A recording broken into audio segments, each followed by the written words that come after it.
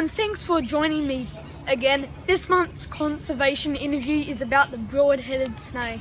Here I am with Chris, one of the reptile keepers here at Currumbin Wildlife Sanctuary. Now snakes are one of my all-time favourite animals and I'm sure they are one of yours as well Chris. So how are snakes misunderstood? Oh, well snakes, Pat. I misunderstood it's this um, perception that people have that all snakes are bad. Yeah. When in fact snakes are really um, one of the best pest controls you can have at home. Mm. So here on the Gold Coast they say that there's one carpet python in every third roof here on the Gold Coast. Wow. Which is um, really great for those pest species of rats and they don't cause any drama or damage um, to your roof and they're just great to have around. So Yeah. if we respect them and understand them, then we should be able to live equally and safely with them.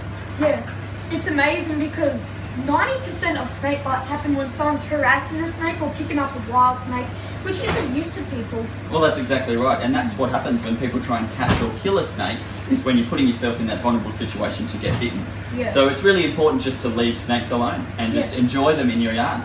Yeah. So what should you do if you come across a snake? Well, the best thing to do is if you stumble across a snake, is just to keep still and just let the snake move out of the way in its own time. Yeah. It's best not to poke or prod it with a stick. And um, just to leave it, just to leave it, or if you can safely step away, just in the opposite direction, because you know that that snake's going to be more scared of you um, than you are of it. Yeah, It's absolutely. just to be just to be safe. It's just to let them do their thing and Yeah. just enjoy them from a distance. Yeah, snakes have really blurry vision, so it's like if this big giant came along, it's really blurry. Yeah, that's exactly right. And if you don't have any arms and legs, the only thing you're going to do is bite. So that's what, how they've got to defend themselves. Yeah. So whereabouts do these guy broad-headed snakes live, and yeah, where do they live? So the broad-headed snake, it can be found in about 200 to 250 kilometre radius of Sydney down in New South Wales. So they live out there in these sandstone outcrops and in the woodlands out there. So they're pretty elusive little guys Yeah. and they like to spend a lot of time hiding and they're mostly nocturnal and come out at night. Yeah, I can't see him right now. yeah, he is hiding, they're pretty good. We very rarely see him. So how can you identify the broad-headed snake? Well, the broad-headed snake is a small snake, and it grows from about 60 to 90 centimetres in length, and they're quite dark, but they have this um, really peculiar broad head for a, a Yeah. venomous snake. So they do look a lot like pythons, and unfortunately they get mistaken for the uh, for a baby diamond python, which is found in the same area. But these guys pack a pretty nasty bite, so it's Yeah. really um, just assume that every snake is venomous, just to be safe. But yeah, so these guys live around that Sydney area in these rocky outcrops and they spend a lot of time um, hiding away, ambushing their prey. So they won't actively go hunting. They can be known to sit in the one spot for about four weeks, Wow. waiting for prey to come to them. Sounds like a perfect life. Yeah, doesn't it? So why are these guys so endangered, and what are their threats?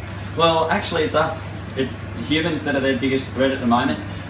What we're doing is we're taking away their natural habitats. So we're removing all these bush rocks Yeah. and sandstones to make our garden looks ni- our gardens look nicer. Yeah. and that's what's destroying their habitat. So we're removing their habitat and their prey items. So they're going to be eating little things like geckos and mice and skinks that are all living in these rocky areas. Yeah. And if we remove that, they've got nowhere to go. Mm. So it's really important that in your own home, if you want to have bush lands, bush gardens and bush rocks in your gardens, just to get clean rocks and let them get Yeah. mouldy because people love the aesthetics. They love the real nice, mouldy, old looking rocks in their Yeah. gardens. But it's best to let nature take its course mm. and buy clean rocks and let them grow in your own garden. Yeah.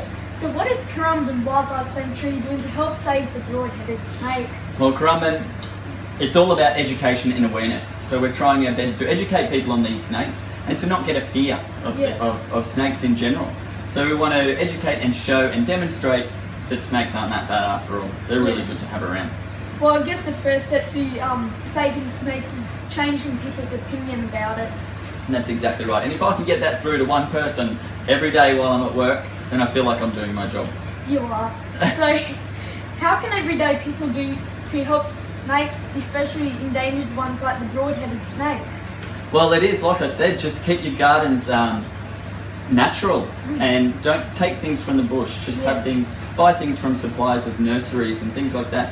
That, um, and provide natural habitats in your Yeah. gardens where the snakes can thrive and live. And live, we can coexist quite happily side by side if we have this nice mutual respect for the animals in our garden. Yeah. So, thank you for talking to me. No, no worries, Pat. Thanks for coming in. It's always good to see you here at Currumbin. Thanks. No worries.